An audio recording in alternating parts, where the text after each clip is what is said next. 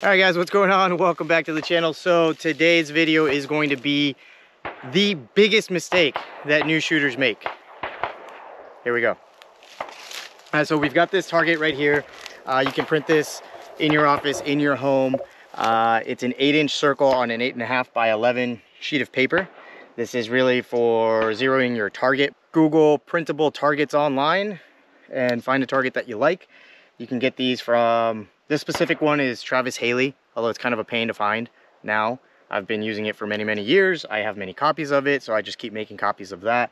But you can go on to free targets, free shootable targets, just Google some of that, and you should be able to find something like this. So here we go. Here's the biggest mistake that people make.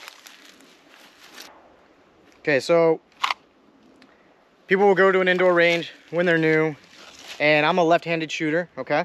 But here's what people will do. They'll grab the gun with their non-dominant hand. They'll grab the magazine with their dominant hand.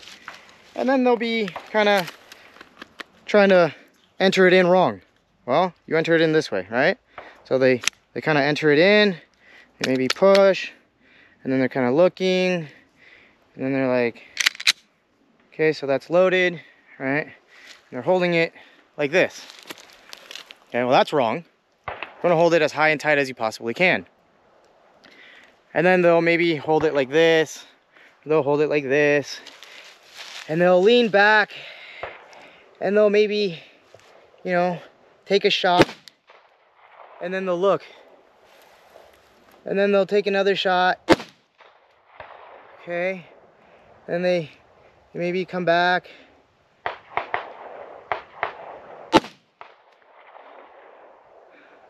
All right. So let's look at the target. They'll hit something like this.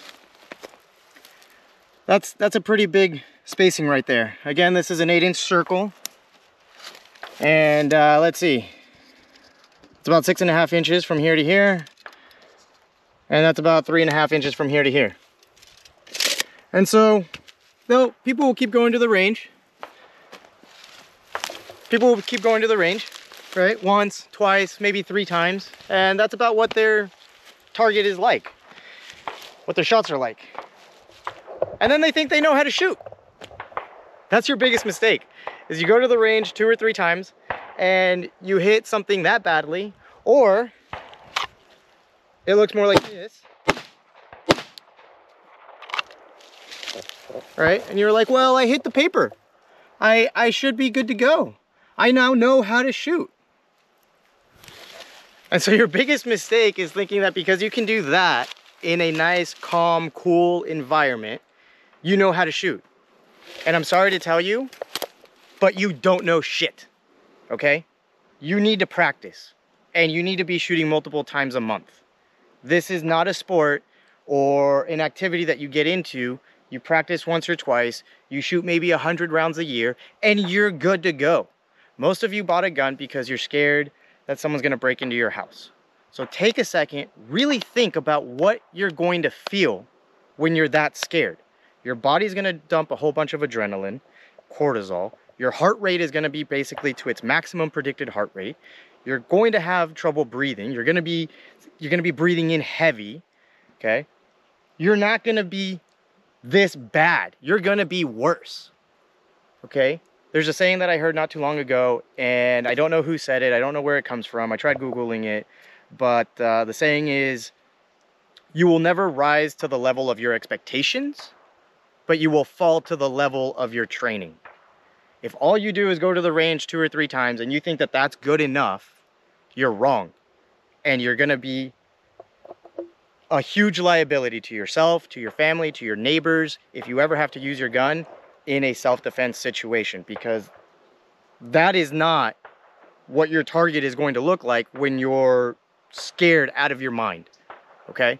So you should go to the range and practice practice practice. Take classes look at these videos look at other videos and get good okay? Even if you can start doing this